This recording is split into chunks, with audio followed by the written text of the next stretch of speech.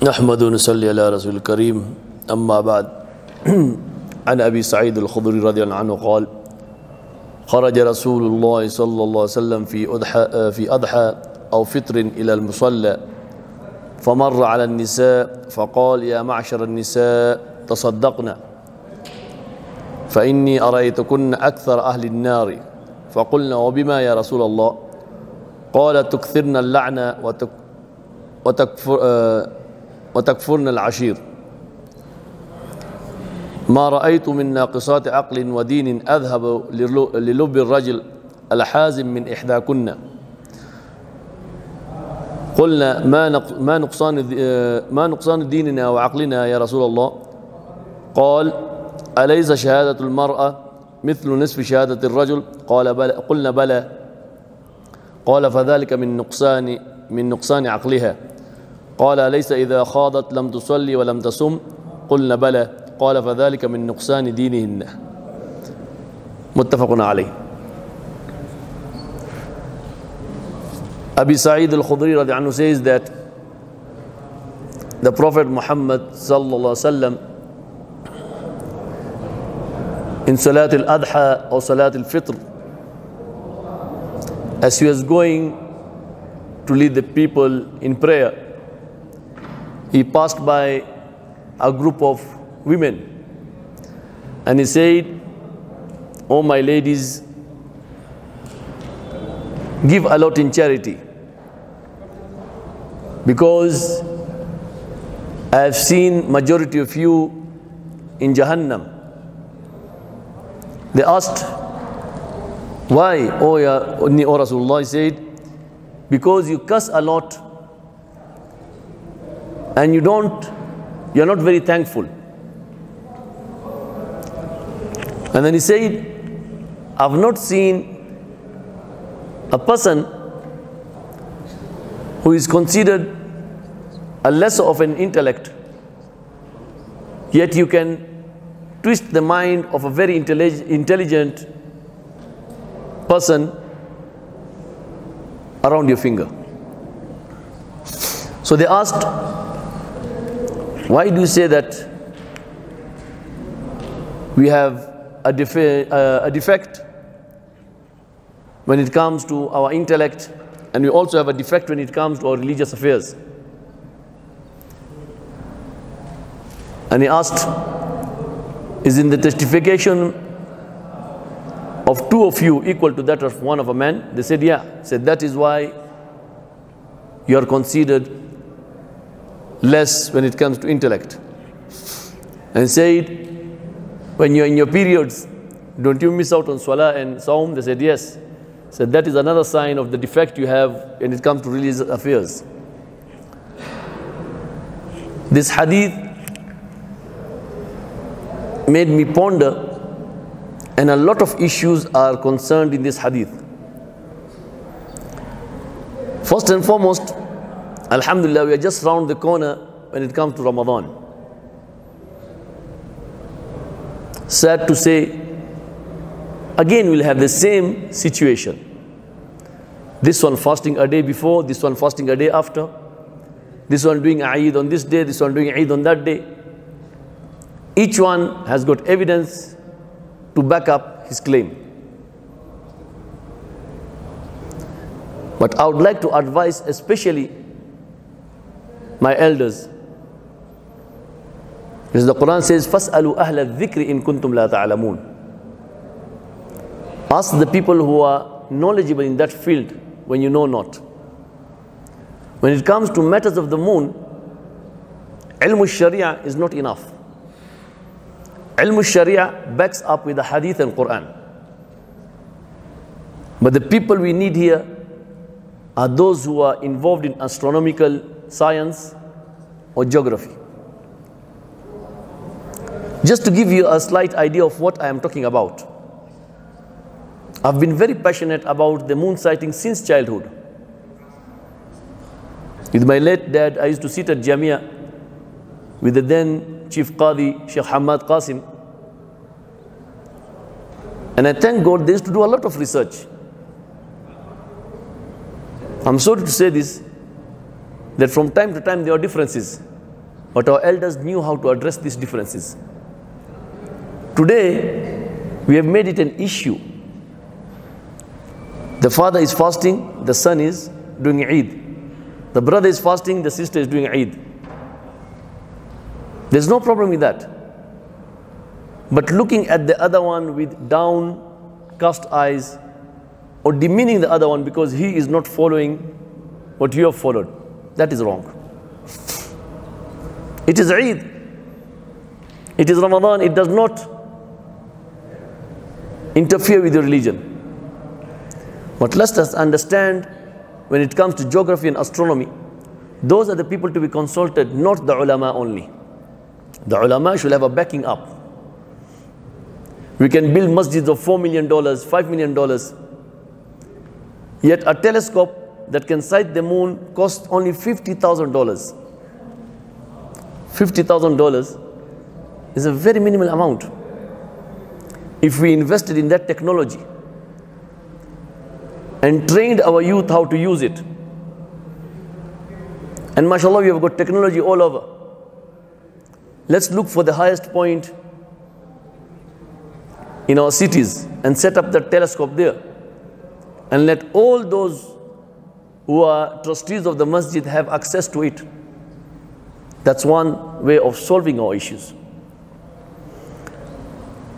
Mostly, we usually follow the naked eye, or we follow other countries. We either follow the Arabs or the Indians. This one belittles us. Does it mean we as Africans are not men enough to sight our own moon? As much as we would like to do Eid all over at once. But let us use the proper ways. First and foremost, a lot of the shuyukh, I have asked them about where the moon rises and sets. They think it's east and west. No. The moon does not rise in the east or set in the west or vice versa. The moon rises in the southwest and sets in the northeast. That's why you find most of the, of the time the people of northeastern areas sight the moon a day ahead or faster than those at the coast. Then they say, oh, that is the moon of the Somalis, that is the moon of the, of the Swahilis. No, it is a matter of using your intellect because it sets in the west, uh, in the northeast. The northeastern areas are more highly likely to sight the moon than any other part of the country. You should take this into consideration, first and foremost. That northeast, the chances of sighting the moon are higher. At the coast, they go and look for the moon in the sea, in the ocean, with the naked eye. In Nairobi or in the cities, it is almost impossible to sight with the moon on the first day. Why? Because of our high-rise buildings and us being farther from the southwest or the northeast. So first and foremost, we should sit down and appreciate that if it is sighted in the northeast or in the southwest, it is okay. Another intellect which my elders have taught me is sighting the moon after Fajr. Most people don't know this. When you sight the moon after Fajr, the day you missed it, it goes missing for two days. The third day will be the first.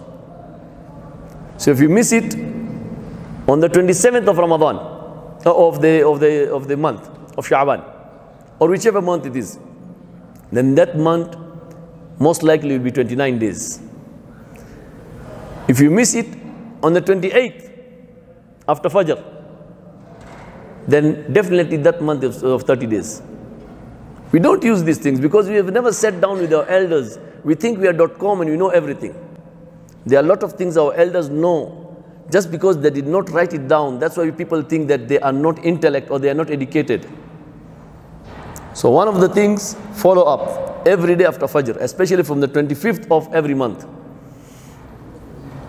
If you cite it on the 27th morning, then remember that day, month will be 30.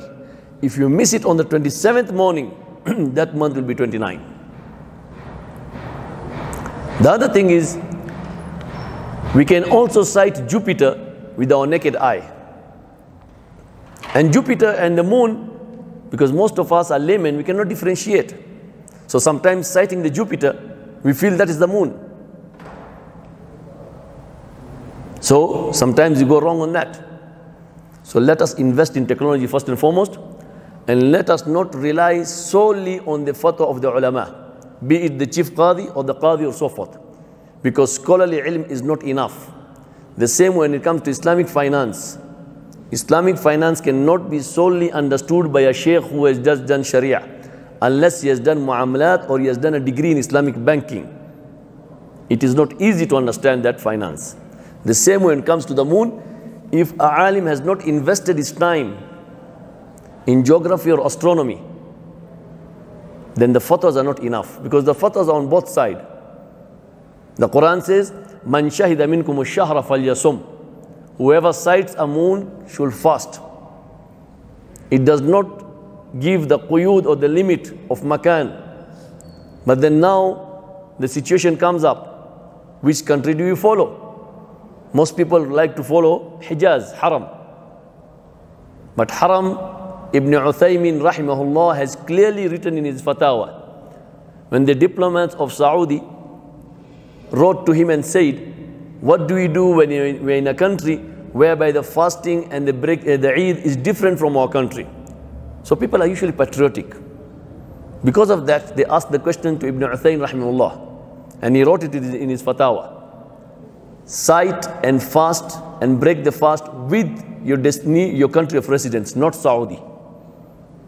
And the Saudi ulama have given fatwa several times don't follow us.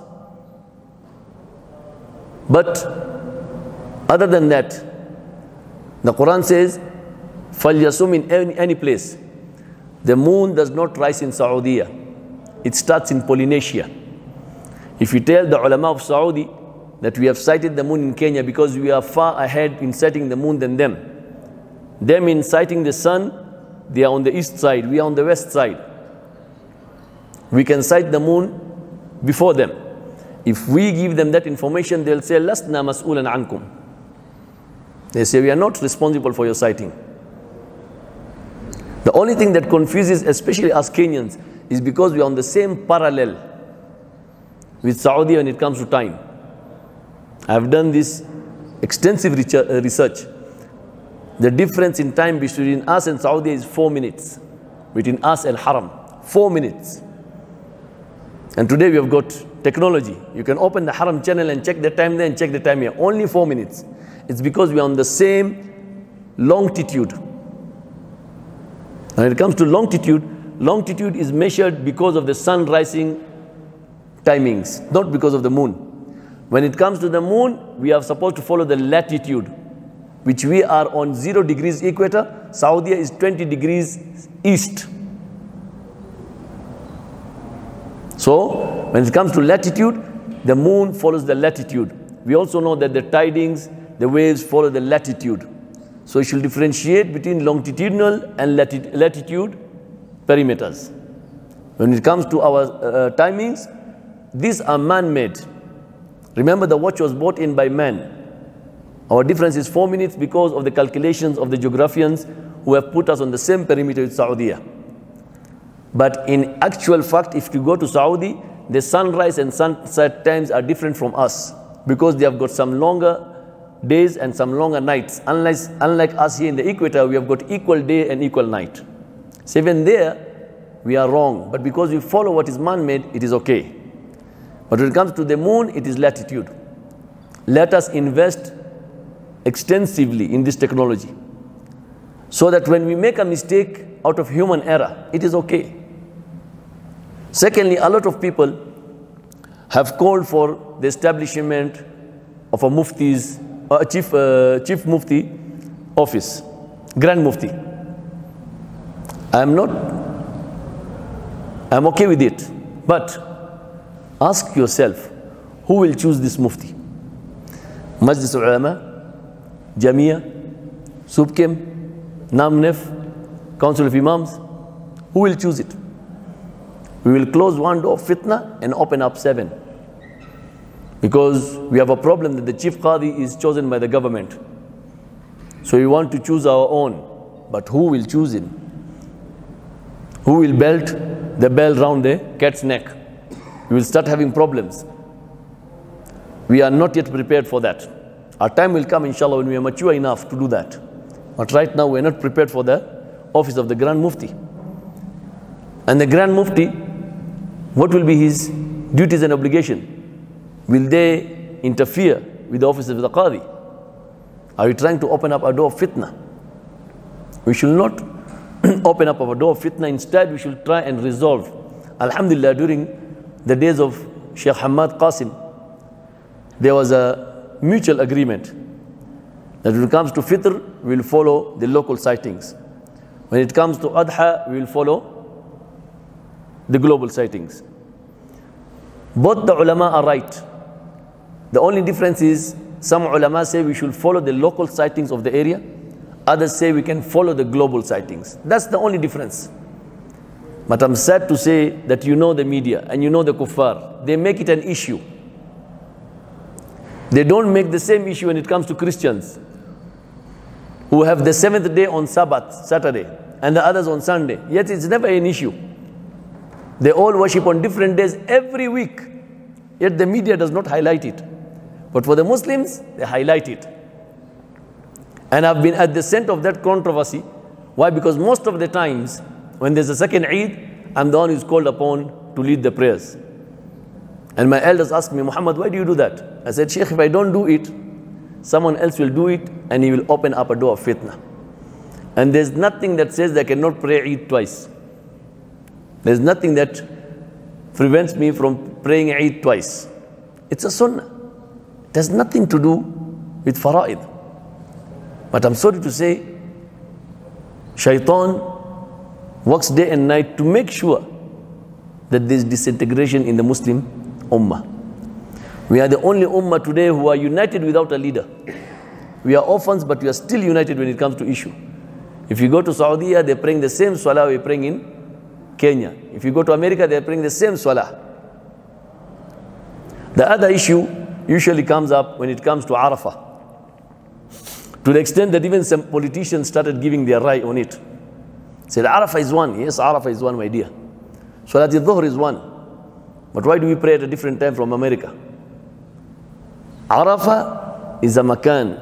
Arafah has that nasab or tansib of التاسعة يوم العرفة التاسعة يوم الحج is also referred to as يوم العرفة even during the Jahiliyyah it was still there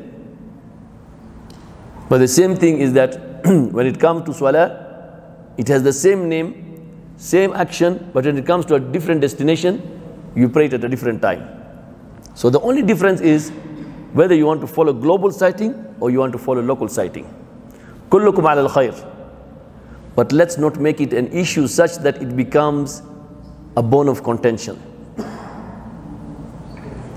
It should not be a bone of contention. We should try and find a solution through the ulama. But remember, every alim has become a mujtahid. And you cannot convince a mujtahid to follow the right of another mujtahid. You cannot con convince Imam Shafi to follow Imam Abu Hanifa. Kullu al khair. But everyone respects the other what we should try and appreciate is respecting each other's opinion.